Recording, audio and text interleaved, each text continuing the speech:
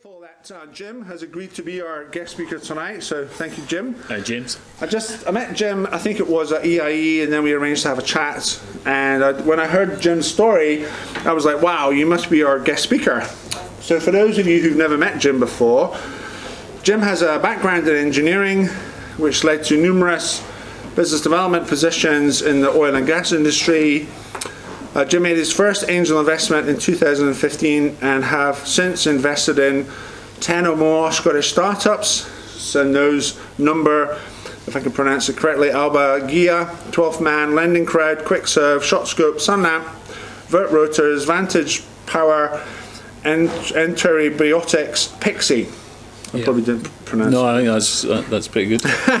but Jim found also as an entrepreneur and founded Boxergy in 2017, which aims to provide every home. This is my you know synop- synopsis of what Jim's working on. Every home with a system that will draw heat from the atmosphere. Now, I've probably not done a very good done it justice, Jim. You're working on such a massive, world-changing project in Boxergy. How would you describe it?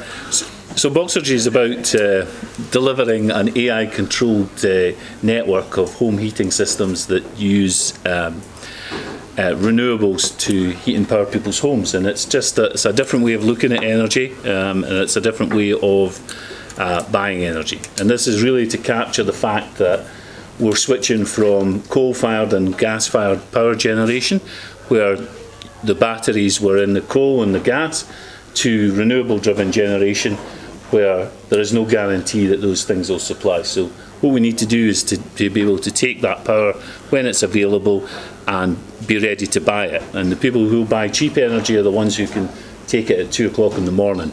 And if you don't have that ability, then you'll pay more for it. And the uh, so it sounds like, but your system works by drawing heat out of the atmosphere. Yeah, that's right. We use a, a something called an air source heat pump, which is a lot like an air conditioning unit, um, and it basically takes the energy that's in the air and it can work down to minus 20 plus degrees centigrade. Canada uses them, Norway uses them. You know, people in the uh, far north of Norway actually use these things. So there's, a, heat in the air, uh, even at those temperatures. It takes that energy um, through a fan, heats up a very cold liquid, and then we compress that further and add some more energy to it. and basically, what we can do is take one unit of electricity and turn it into two and a half units of heat. So Boxergy is going to work because we're cheaper than gas. So that's the only way that new technology really works. It either delivers a really sexy thing or it's cheaper than the last one. And generally, it's got to be sexy and cheaper for it to really take off. And that's what we want to do. So it's we, our ambition is to sell heat at one pence a kilowatt hour, which is a quarter of the price of gas that's around today. Uh, and we want to do that with green energy as well. So we want to use only green energy to do it, and by that I mean low carbon energy. So So it sounds like it might solve the problem if we're taking if we're if the world's suffering from global warming. Uh, your system sucking heat out of the atmosphere is that going to cure global warming? that, that, that's because unfortunately the houses are leaky, and so all the heat just comes out again. You know, it's not used up. So, but what it will do is. Um, It'll take some of the 62 million tonnes of CO2 that we emit every year by burning gas in our homes to heat our hot water and heat our homes, and to reduce that number. And Boxergy, if everybody changed over to a Boxergy system, we'd reduce that from 62 million to a few million tonnes of CO2. So it's a really impactful uh, system. It's really scalable. There's 23 million gas boilers in the UK, and we intend to, to be able to replace every single one of them uh, with a Boxergy system. Wow, that sounds fantastic. So how can people uh, help you uh, to achieve this or get involved in the uh, in the business? So the single biggest thing for businesses is money. So advice is great, um, you know, a structure's great, uh, but you know, it's the execution of your business plan that really, really matters, and the the, the catalyst that turns that on, and the and the you know the, the the thing that powers that is money. So we've got to go out and raise money. So um, I'm in a a fairly fortunate position. I've, I've raised money in the past. Um, and I've got money, and you know, and so why don't I just use my own money? But you know, you'd be a fool to think that because you've done it before that this idea is a great idea. You know, so you have to go and switch that money, switch that idea on by persuading someone else to do it. So we're out raising money at the moment to do that. If we can convince other people that it's a great idea and to part with their cash, then that builds value in the business. Because at some point you have, no matter how deep, how rich you are, you have to go and get money. So at some point you have to convince someone else. So you might as well do it at the start. But it's not just money that, that comes to the table, is it? It's uh, mentoring, their network, Yeah. they, they, obviously their uh, expertise coming in to help the business as well. I think that's a, a good point. So money is not equal. You know, money in and of itself is really important, but there are the you know there are not everybody's money is equal. Like I say, so you know you get some people who just give you the money and don't give you any advice, don't give you any connections, can't help you along the way, uh, and be very demanding. Um, and then you get other people who um, you know, are going to give you the intangible things like a network, like their experience, uh, and you know, help you uh, achieve your goals. And it's quite difficult because at the start, you know, I mean, you know, money's money's really, really important. So you're very focused on getting it, uh, and you have to be pretty uh, strong to to try and find the right money. I think so. I think money's not not every not everybody's pound's the same. Uh huh. Yeah. So I, I, I do recall from our conversation before that you were you're very your background is very pragmatic. Uh, I guess engineering, business development. You don't really uh, get get overly distracted by minutia or vanity. You're very you know you really want to follow the money and you really want Sure. entrepreneurs to be selling stuff. Yeah, I mean, there's a saying in the oil industry: everything before the butt is bullshit. You know, and it's it comes from. You know, you'll you- you'll hear customers and you'll hear investors say that. So you have to, you know, your metric is, or at the moment for our business, is to, to raise cash. We have to make and listen to people uh, in order to, to do that because we have to persuade them. So you, you have to be um, flexible. You have to listen to them. You have to be prepared to change what you're you're doing in order to raise that money. And you know your sacred cows have to be slaughtered to get there. So you know I don't have all the good ideas, and people in the team have better ideas. Federico's sitting over there, and I say I often say that he has most of my best ideas. You know because it's it's a it's a sort of community effort when you're in a startup. And you know if you've not got other founders, then I'd I'd say uh, go and find other founders because it's a really lonely place on your own. I spent my first year bringing on two founders into the business, um, and that's some of the most important work I could do. Because when investors look at you, if I can't persuade other people to come and give me their time, uh, you know, then how am I going to invest? How is anybody going to give me their money? So. So that is one of the hardest things for entrepreneurs in Edinburgh. It's not a big city. People are very busy working on their own projects. Do you, what words of advice would you have for entrepreneurs who who need to find a co-founder? So, yeah, so uh, that's a good one. Um, it depends on where you are and who who you know, um, and that's that's a really important thing. So if you don't know them, come events like this, meet investors, go to people like Jock, who's up next week. Jock's a fantastic guy. I've invested alongside Jock many times, and he knows everybody in the startup community and everybody in the angel investment community. So talk to people like that. I think what you're looking to do with your team is to, to find the right balance. So don't find, you know, not everybody's 20, not everybody's 50, uh, not everybody's a go ahead sort of free thinker. You know, you need some people who are completer finishers, you need some people who are going to argue with you, and you need to find opposites in your team, I think. How you do that, you know, depends on your network. So if you've not got a great network, then you have to spend a lot of time just building that network and come to events like this. And you had a so when you came down from Aberdeen, you had a, a, a deliberate strategy in building your network and getting to know people. Well, that's right. I, I didn't know anybody in Edinburgh. I'd, I'd worked in Edinburgh until my uh, mid 20s, and then I went to Aberdeen um, in the late 90s, and I worked in Aberdeen and Abu Dhabi for uh, 20 years. So when I came back here, I didn't know anybody in business. I didn't know of any connections. I knew my friends and my family. Obviously, where my hometown, but no one who who you know I could I I, I knew I'd, I knew one of my co-founders in Edinburgh. He's an old friend of mine, um, but I didn't know anybody to help me.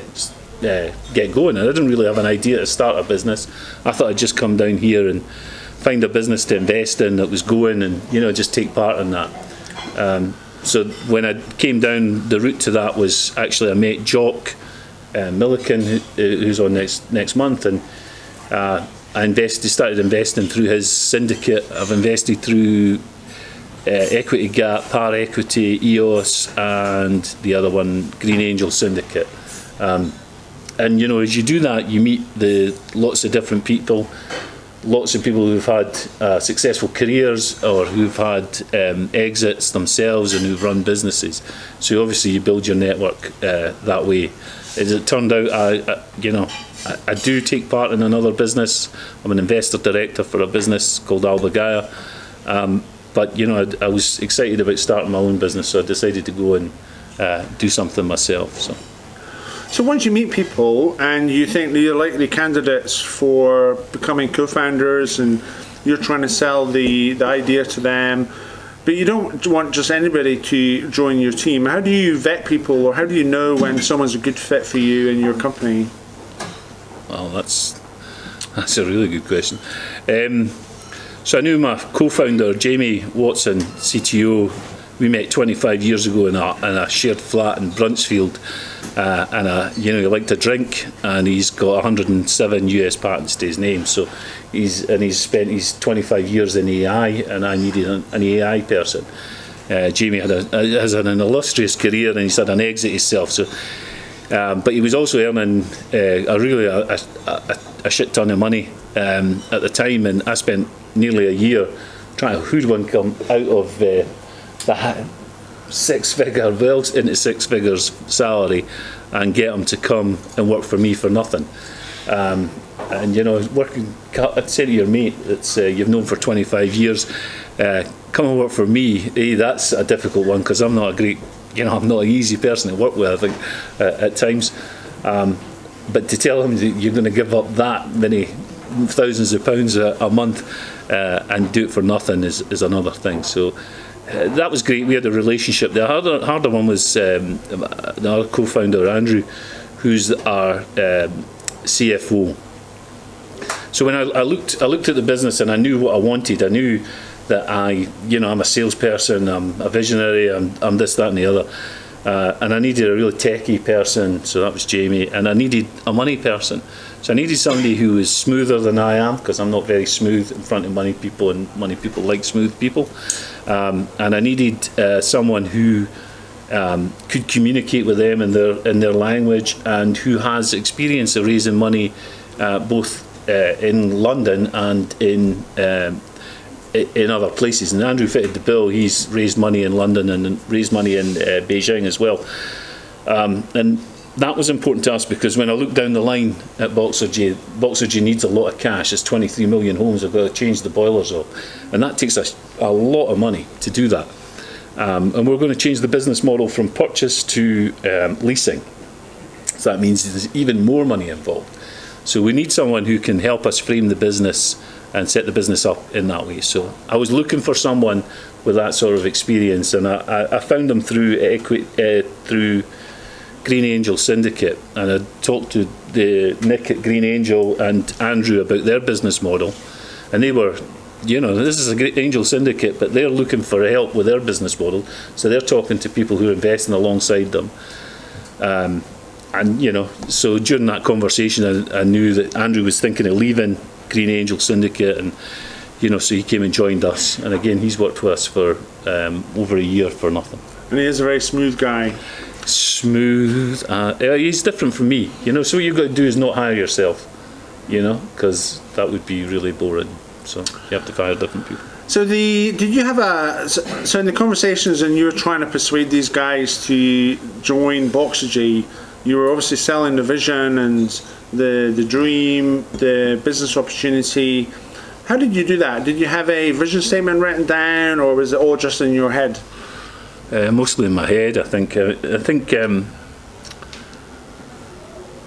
yeah. I, I, I mean, that's my gift to you know. That's I can sell concepts, and it's what I'm, I'm sort of good at. Um, uh, the salesperson in me, you know. Um, but I, I, knew what I wanted. I knew, and you begin with the end in mind, you know. So, what does this business look like in three years' time, five years' time? How much money are we consuming? How much money are we making? And you know, these were just thoughts. I mean, I did commit some of it to paper, but not a huge amount. I'll be honest. I talked about the idea, and I, you know, I, I didn't imagine that it was going to happen in a day. It didn't happen in a day.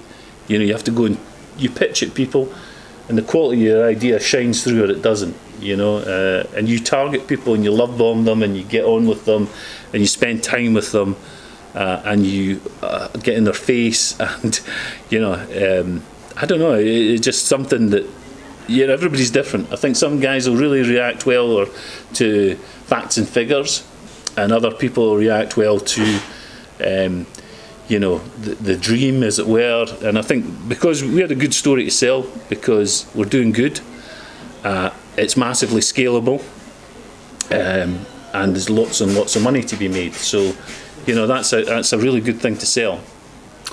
And the I'm, I'm interested to know how many chats it took to get Andrew uh, on board. Just perseverance is key, months, months and months, six months maybe of talking to him and meeting him regularly. So, but that wasn't a. Was that like once a fortnight? No, it was probably more often than that. I mean, we would meet um, at events. We meet particularly to talk about it. Um, you know, you just have to be when you want something. You just have to be really persistent. You know, you have to if you want it and you want to work with someone if they're the right person, then you have to just go and get them. You know, it's. Uh, I don't know. Um, with Jamie, it took even longer, but you know, he. I knew he was ready to go um, because I had to listen to his bleating about his. I'm going to take that one out the video. Out the uh, bleating about his current job, you know, um, or his old job rather. Um, and so I knew he was ready to leave, and I just had to persuade him that it was the right thing to do. And you accommodate them, you, you, you let them share in the in, in the the success. I mean, they have to be aligned, so they have to have a part of the business, um, and they have to see a route to to making enough money out of it, I suppose. Mm. Well, I think a great example of the probably the best example I've heard of how to how how much effort that that takes, and how you know, and obviously you had a, a very good result in in finding those people. Did you ever find a co-founder that wasn't a good fit in the past?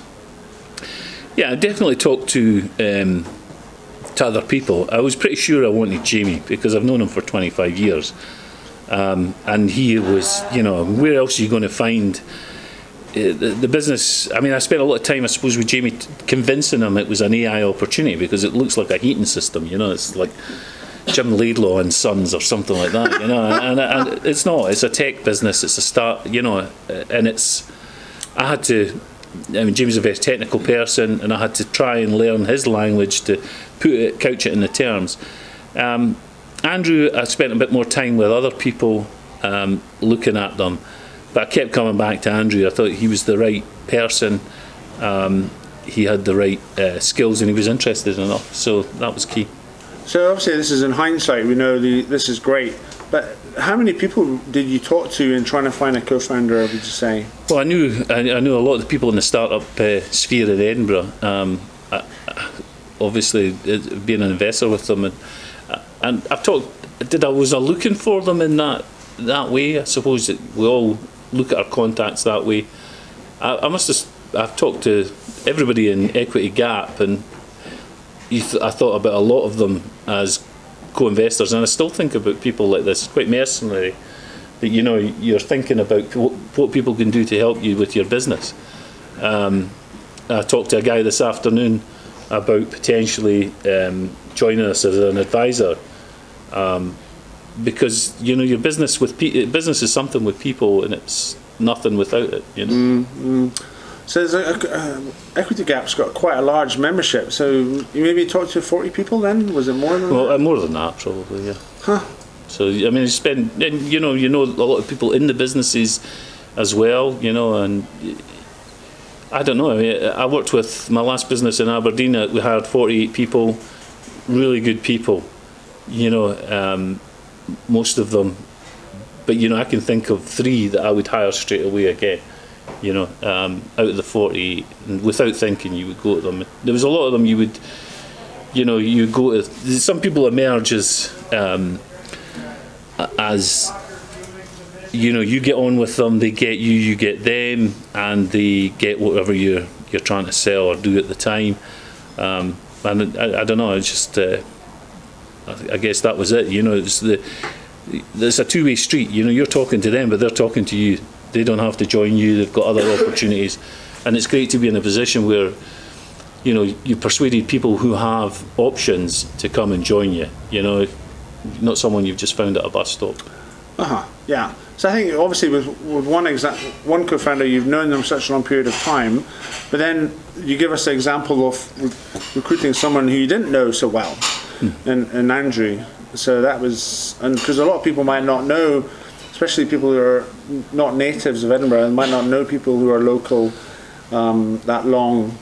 I think uh, the key is finding, knowing what you want from that person. So look at yourself and see what's missing in me and you know and be honest with yourself and say what do I need you know if that's begin with the end in mind where do I want to be in two years four years five years time and what skills do we need to get there and you know I'm not the best CEO when we're you know more than 15 20 people it's not going to be me that's the MD of the business because it's not my skill set to run a bunch of people you know it's it's not really I don't find it really exciting um, and you have to find people who who a want to work with you and are going to match the spec of what you want. So for me, it was about saying, I know I need a money person. I know I need a technical, uh, really technical person that understands AI, and those are the foundations of the business. You know, so we can sell something, we can make something, and we can get the finance for for that thing. And those were the three sort of cornerstones that I felt that we needed. And there are others now, there's others emerging that we need, and that's why I was having a conversation today. I'm probably much more fussy uh, now. You know, I think when you start out, it's really about getting a bit of a snowball going, and you have to be, um, you know, you you still have to be choosy, you know, because uh, you the last thing you want to do is get the wrong founder on. Um, but you know, maybe we've got more choices now. Some people often in this group we, we, we debate the, the, dilemma between getting a co-founder for sweat equ equity, or if you if you're struggling to do that, hiring people onto your team. Uh, what advice would you give people who are thinking about? Uh, which would you say is the best the best way to do it? So, persuade someone who's got money to come and work for you and invest in you at the same time and offer to pay them back. So the, one of the things I want to do, uh, you know, we're all we've all got EI, probably all EIS or SEIS um, qualifying businesses. Most of you, if you don't know what it is, go and Google it. It's a really important thing to investors. It's about tax relief on their investment. Um, and SEIS is really, really nice because you get 50% of your money back as an investor when you invest, right? So that's a, a really good thing. So go and find someone who is a higher rate taxpayer, who's got skills that you need, uh, and is willing to pay for their entry into your business. And there will be people like that around. So you charge them, you give them the opportunity. So you're selling something that they want and they want to find businesses like yours that they're interested in or believe in or they believe in you or whatever. Um, and charge them for the privilege of potentially taking part in, the, in Edinburgh's best startup you know? So uh, and don't be shy of asking them you know?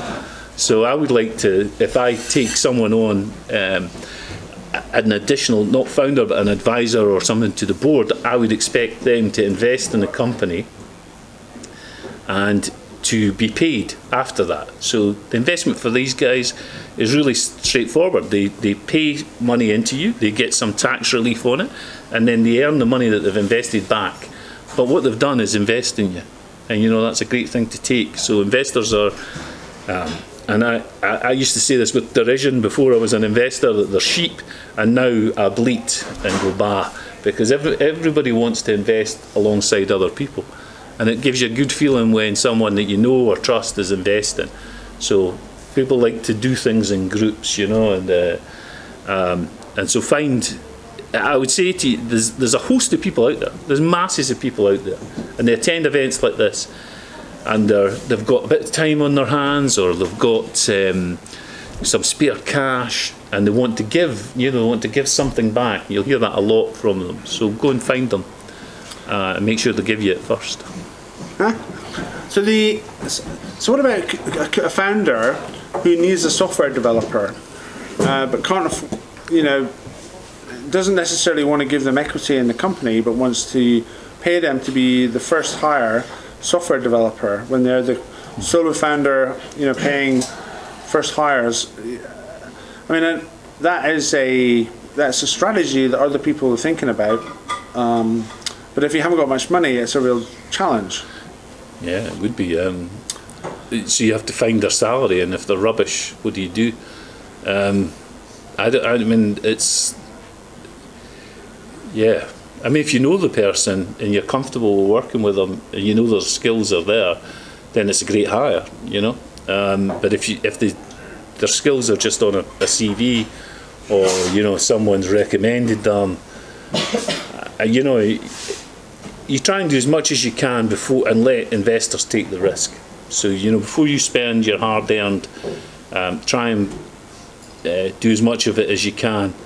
Um, before and let someone else take the risk of hiring someone. You hire a good software developer in Edinburgh.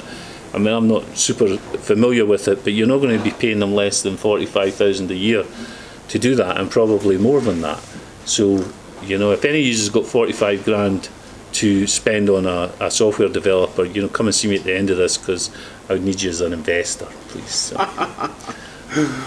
So what we're talking about here is the team, and I know that investors always want to invest in a good uh, performing team. And in your experience, how do you know whether a team is a good investment or not? Sure. Um, yeah. So uh, that's yeah. So you only ever see people as an investor on their best behaviour and that's really difficult. Uh, that makes it really difficult. Um, so you might meet them, you might see the pitch, you might talk to them a few times, and you might have a more formal meeting where you, you get into the guts of the business a little bit more. Um, so what I personally look for is people who have faced some adversity and changed and being able to adapt their business uh, to, to, to meet that. Um, because whilst you need to be really single-minded to drive a business forward and to be very focused on the output, you also need to recognise when it's time to change. And so I look for that in people. I look for teams that are diverse, so they're not just everybody's not just got six letters after their name. I saw a pitch uh, a few months ago uh, from a uni spin out, and every single person had like a dozen letters after their name and I'm thinking, well, who's going to sell anything from that business? You know, so who's going to fix real world problems and deal with people in that business? You know, none of these people. Well, you know, I mean that's a judgment, and you know, I mean, it, I might be completely wrong, but it's uh, you know, how do you make that? Angel investors don't give too much. You know, it's a gut.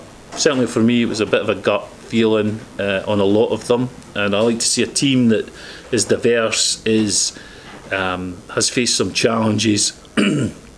um, and I like to see the quality of the idea. And if I believe in the idea and the team, then I think it would be, you know, it's a pretty good mix. That's great. That's great advice. And the so the so the behaviour that the entrepreneur needs to embrace is one of of uh, whilst I mean it is a challenge to pursue an idea that you think is a world class idea but then to let go of that idea and to actually consider something else, it's um, it's really difficult to do that. Uh, I think startup land we call it pivoting. Oh, well, yeah, yeah, yeah. yeah. So, it, it, but you have to recognise when it's time to do that. So you have to, you know, be flexible or appear to be flexible. So you, you have to, you know, um, yeah, I mean, you could be really single-minded and you, you'll listen to a lot of people who say, I was totally single-minded, I didn't move and I made a billion dollars, or, that's great, you know. Um, but they're, in the world of exceptions, they're exceptional, you know, so most just people, yeah. Well, there's a huge amount of luck, absolutely, in business. You know, you can do all the right things. This is a real tragedy. You can be sitting there on the best idea in the world and you could do all the right things and you could be in a great position like I was in 2008 and then Lehman Brothers crash and you know your world gets turned upside down and the money that you've spent on your business startup just pisses out the door because of some guys in America and there's nothing you can do about it. Mm. So you know you have to be you know and the tragedy is you have to be just lucky as well. You have to do the right things and if you're doing the right things and you're lucky then you know you stand a chance. I get the, the, the impression that you you- you've definitely been in it for the long term. You're so you you're you're working with people that you've known for a while. You've you've been through the trenches. You've got your war stories. You've never given up. You're you know you're you're persevering, and other people must look at you. Other other uh, other entrepreneurs, other investors, and I'm mad. I'm mad. Why am I doing this? I I look at myself and I say, why am I doing this? I mean, I wake up in the morning, some mornings, and you know, like today and yesterday, Federico and I are going through contracts. God, it's dull, you know, and it's really hard work and it's just so boring. Um, and then there's other days that you're, you know, you just think, Christ, why is nobody getting this? Is it ever going to happen? What the hell am I doing this? Why am I working at nine o'clock on a Sunday night when I don't need to? Why am I doing this? And for what reason? You know, so yeah, I mean, I, I face all those things, and uh, it's funny, you, you know, it's because I'm not, you know, God, I can't, I can't believe it's, I never say this, but yeah, I'm not, obviously, clearly not that motivated by money. You know, it's not, that's not what's, what's working me now, and most of you probably aren't. You think you are, and you, you know, that's what I thought I was. Yeah, I just worked to, to you know, I, I, I wanted to make money. You know, my, my original aim in my last business was to make enough money to pay my mortgages off. Um, you know, and that was a just so that I didn't have to uh, work as a you know be a career person after that. Um, you know, I, I, I don't know. It's just um, you're not probably motivated by money. You think you are, and you you're probably just a workaholic, or you just want to work and you want to focus on a task. And I, I, I think that's that's me. So it's uh, so, well, I guess the, the three motivators are mastery, purpose, and what's the other one? Uh, well, I've gone blank now. Mastery, purpose, autonomy, Okay. autonomy, and I would imagine that all three of those are Yeah. play in, in what motivates you. Yeah, I, I, I like the purpose element of what I'm doing now. I didn't, you know, you hear a lot of people and yeah, I want to give something back, and you know, stuck my fingers down my throat when I heard that often in the past. But um, and that's not uh, that's not a motivation. I don't want to give something back. I want to make a shit ton of money, and know that when, every pound I make is doing good. That's a much better way to do it, I think. I'm not a traditional tree hugger, but I do hug trees now. Um, autonomy is, I have never, ever been an easy hire for people. And I, you know, sometimes I look back and I feel sorry for people that I've worked for because I was never easy to work with. Um, mastery, I think, is the last one. And one of the hardest things I've found is always a subject. You know, I think when I first left, I worked for a big blue chip organisation, a company called Schlumberger, subject matter expert. And I, you know, people would fly me around the world to talk to them about this, that, and the other.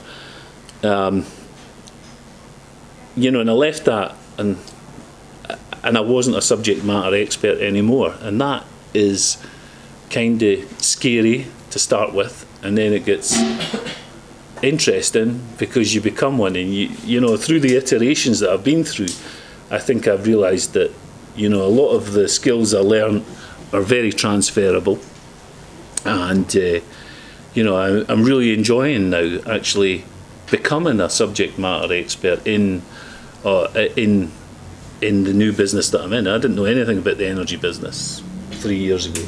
Wow. Um, Google and Wikipedia and especially YouTube have taught me massively. But you know, I mean, I go and sit and talk to Ian Marchant, the ex CEO of Scottish and Southern Energy, and he is an energy expert. And you know, Ian thinks what we're doing is good, and he doesn't tell me I'm wrong. You know, so you'd be amazed what you can learn on YouTube. So how did you originally come up with the idea then for Boxergy? That's a good idea. Good question. Um, put solar on the roof uh, in 2015, Is this your own house? my own house, um, and I was amazed it worked in Scotland. Jenny, my wife, she wanted to do it, and I was a bit sceptical. I thought it's never going to work in Scotland. Um, and it was amazing to see it generating power. And then I realised, Christ, I'm giving this power away to the grid. Why am I doing that? It's my power. I want it.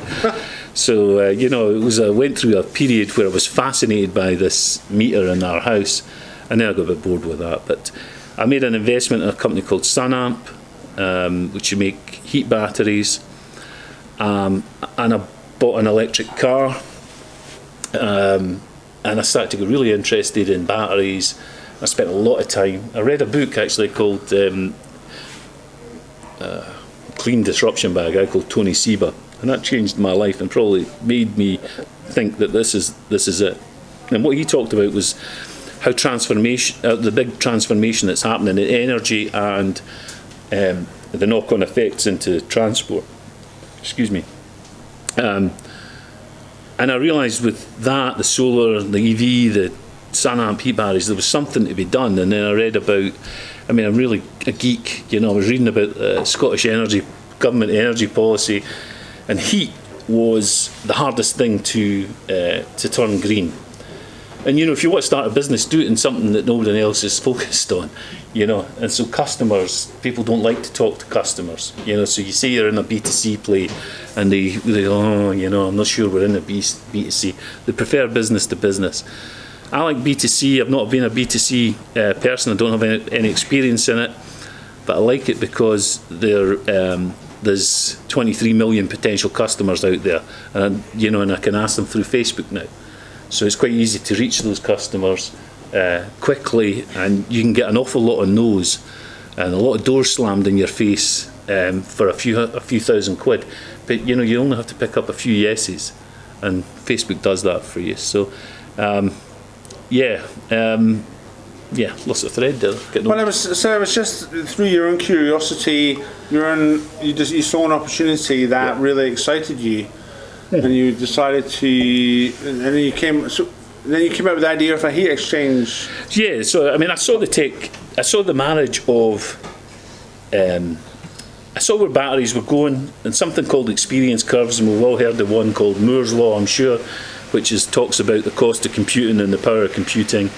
Uh, and there's there's Moore's law's equivalents in batteries and uh, and in uh, heat pumps. And I started to think in this non-linear way. I thought about, okay, that's the price today, but I believe the price is going to be there in the future. And when it's when you when you map it out and you follow that curve down the way, then you start to say, oh man, this is really going to change everything. And the biggest industries in the world that's going to change is energy and transport. And those are, you know, if you think the, the disruption caused by the financial crash was big, well, these industries are bigger than it. You know, both the, in, individually they're bigger, and together they're absolutely gargantuan.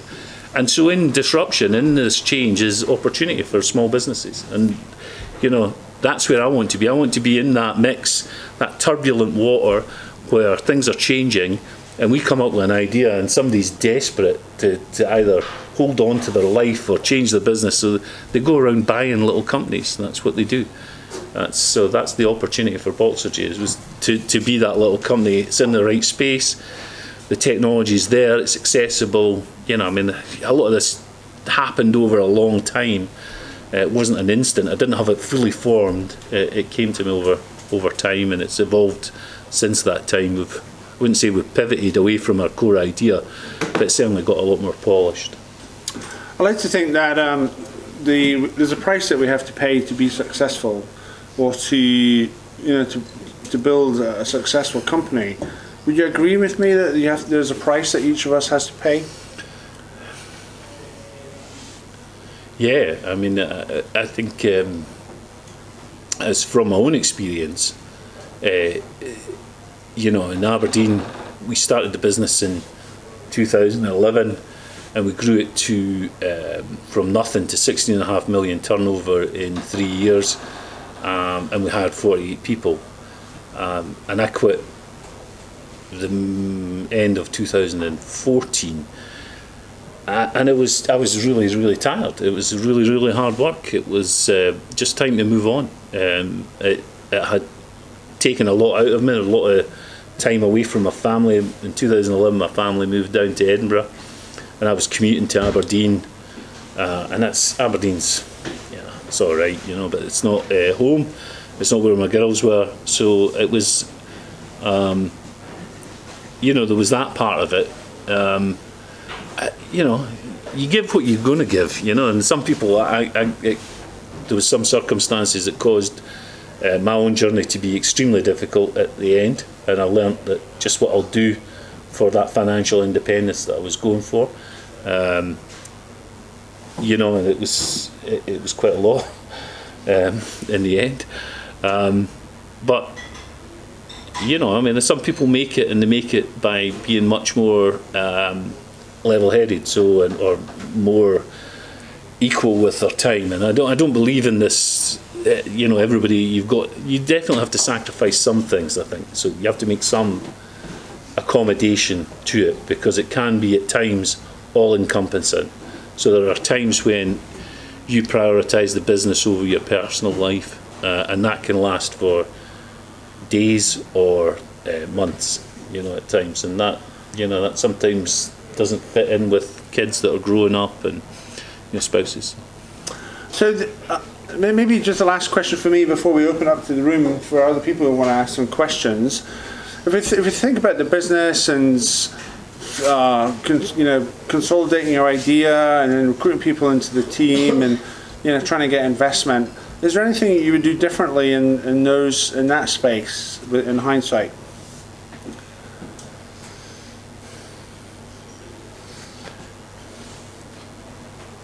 The team, I think, is you know the team was the, the journey it needed to go on, and uh, and it took as long as it took. I think I'm very happy with the team and the, the, the that point. I would do some things differently. We got lost chasing some grants, and we got some great feedback on some early grant applications we did. So we, we lost ourselves in it, and and you know, God, it's a, lots of people have warned us not to do it, uh, and we didn't listen um, or more precisely, I never. Um, and we made some tactical mistakes on them, so I would go back and change that aspect of it. I think um, I'd probably look for uh, more a lighter touch uh, piece of technology that I could have done earlier.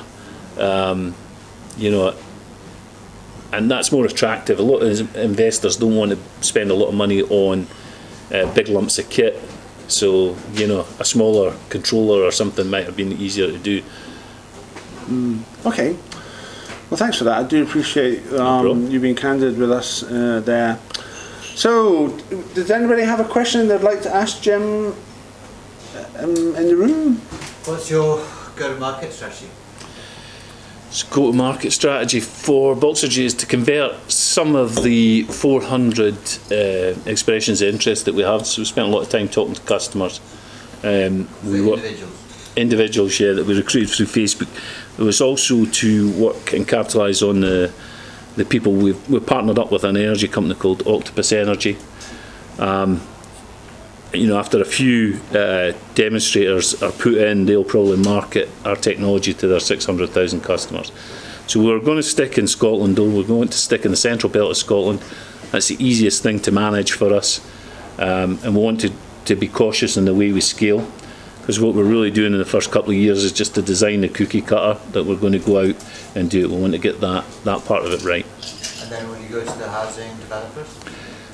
So housing developers, private developers are, uh, you know, it's a minimum cost thing. So what we do is deliver benefit over time, and the two are incompatible.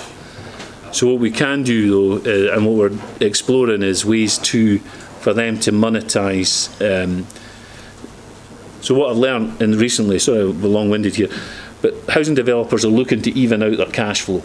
Uh, they tend to do big projects where it involves a lot of upfront investment, then they get the money back, and you know it's feast or famine for them.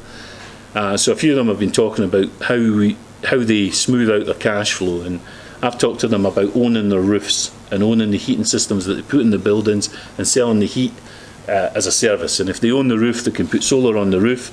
Then they'll be incentivised to have a nice south-facing roof that's got lots of room for solar. And then they put they sell the heat to the, their customers, and they generate the heat from the solar. And in the summer, they sell the heat, the electricity to their to their customers, or sell it to another party. Uh, we've done the same with, uh, we're talking to uh, registered social landlords, housing associations about the same sort of thing. How does the lease model work for the uh, home user? So do they have to pay, like normally you buy a new boiler up front, how does that work? So yeah, uh, and that, that lease model is, is, is a few years away.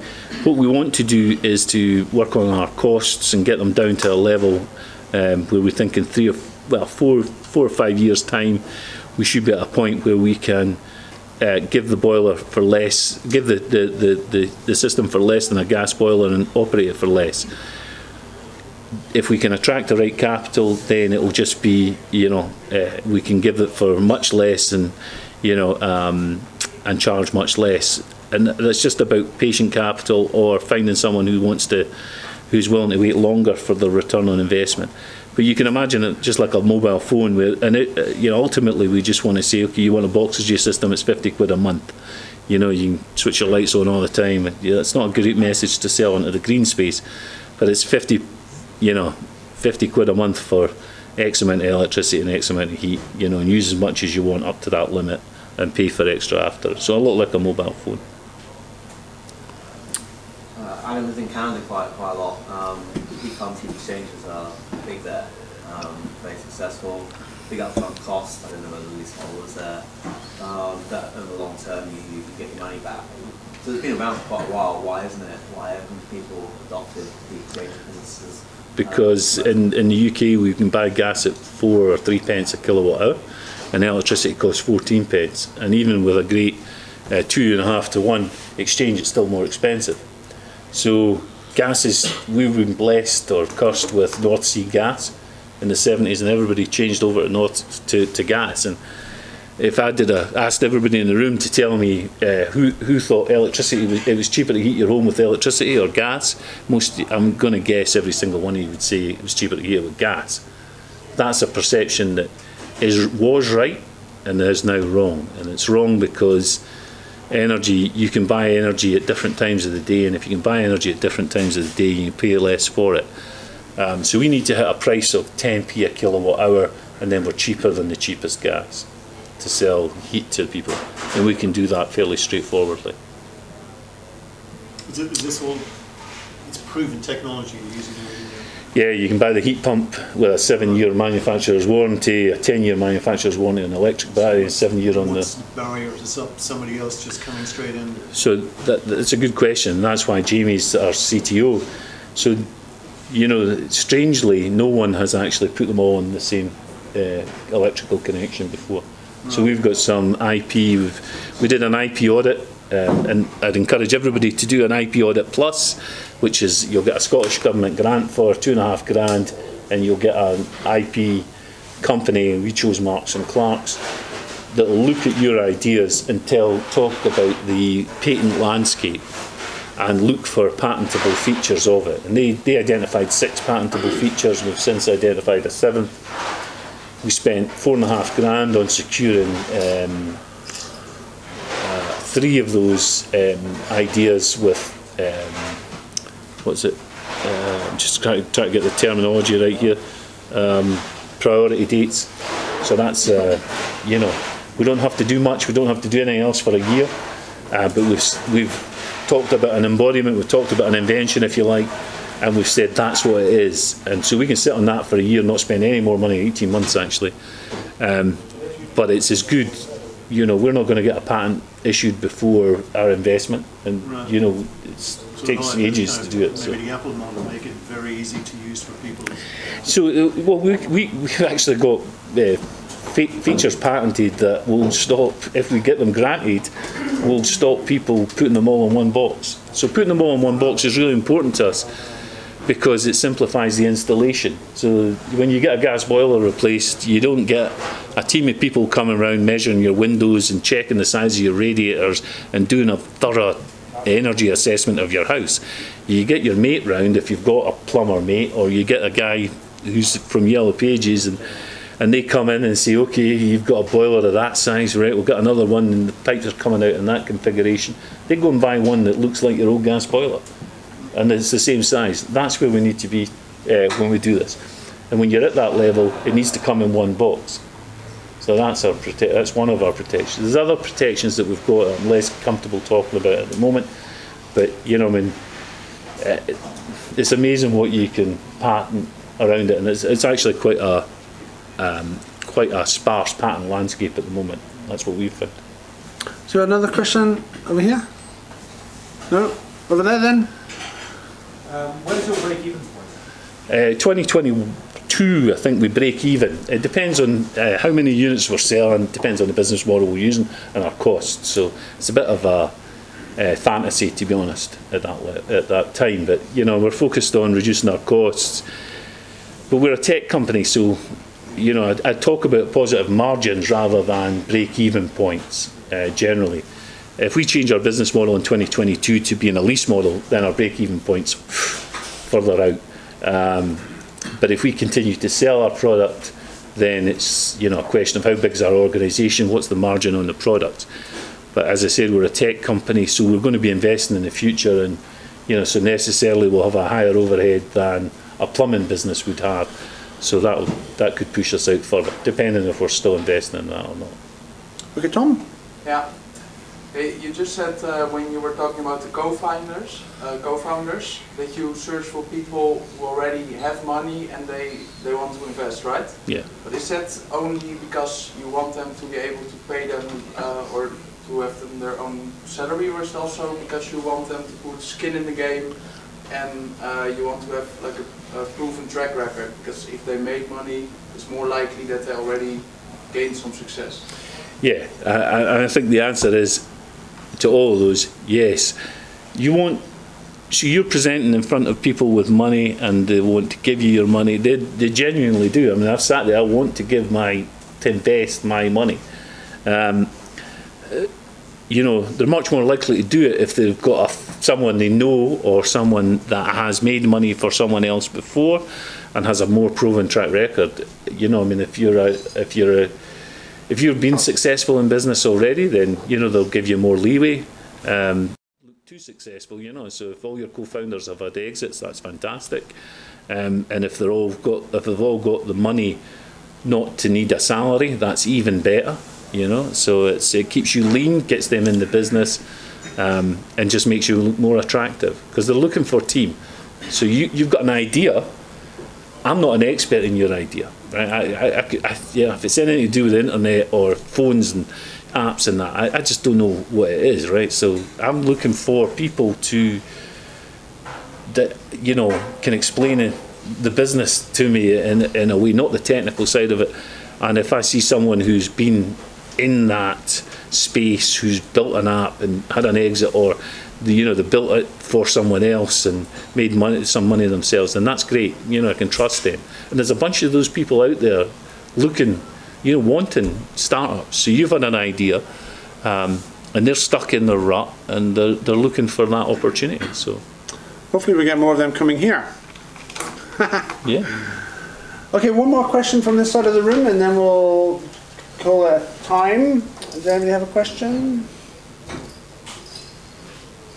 Oh yeah, you didn't answer my question about skin in the game. All right, okay, we'll go back to Tom as the last question then. It's a skin in the game, yeah. I mean, it's nothing more, there's nothing more sincere than money. to an investor. You know, I mean, if someone's willing to put money, then you know, then then they, then they really believe in what you're doing. You know, Yeah, but having skin in the game, is it also a right motivation? That's actually like a, a Yeah. negative no, no, it's a uh, positive. in the sense of when when you lose, they lose because they lose their money. So it's, it's alignment. I think you I would call it alignment.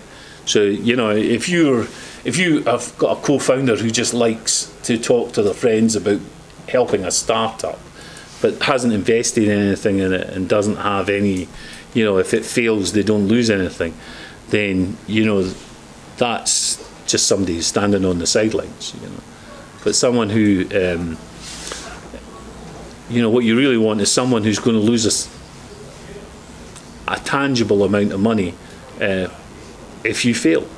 So then they'll be super motivated to make sure you don't fail, um, and they will go that extra mile. You know, if it's just someone who's given their time uh, at, on the sidelines, then it's not as important to them. So I think it's important that they put money in. Okay, thanks. Okay, we're going to end there then. So please join me in thanking Jim.